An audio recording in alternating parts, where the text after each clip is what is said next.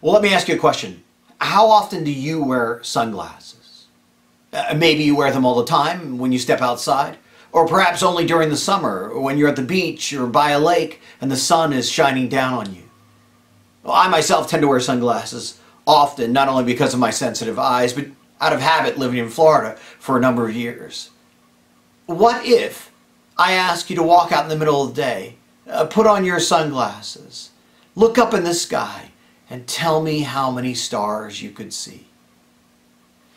It seems like a strange question to ask you. Why would I do that? How would it impact your life? And what does that have to do with faith? Let's talk about it as we meet in the upper room. Our devotional for the day is entitled Faith for Friday, April 17th, 2020. Our scripture reading is Genesis chapter 15, verses 5 through 13. Our scripture verse is Because you have seen me, you have believed. Blessed are those who have not seen and yet have believed. That's John chapter 20, verse 29 from the New International Version. Our thought for the day is this I will trust God with my future. Maybe you don't know where to find today's scripture lesson or devotional. Log on to upperroom.org slash devotionals. On that page, you'll see a link that clicks you to today's devotion. If you're looking at this at a different date, just simply put the date for today's devotional in the search engine and you'll be able to find it quickly. Go ahead, pause. We'll wait for you. Well, the author of today's devotional shares the promises that took Abram to Abraham. Uh, perhaps you've heard this story before in Sunday school or in a sermon, where God shows up and promises Abraham, saying, Look in the sky, count the number of stars. That's how many descendants will come from you. That's my promise. While I'm rereading the scripture again, the author of today's devotional realized it wasn't a problem of counting. Well, sure, if you and I sat in our backyard in the middle of the night and looked up at the night sky, counting the stars would be a problem. Uh, there's too many. No, this was a problem of trusting. It was daytime. The sun was shining. Looking in the sky, you could see no stars. How do you trust a promise then when there's no evidence for it?